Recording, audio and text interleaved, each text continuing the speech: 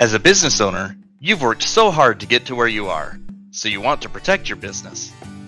Umbrella insurance is additional commercial liability coverage. Let's say you have a business owner policy and a commercial auto policy. An umbrella policy can provide additional coverage for either or both. If you're ever found legally liable for the operation of your business, the limits on your general liability and commercial auto insurance may not be enough to cover some large lawsuits, causing you to have to reach into your own pockets to save your business.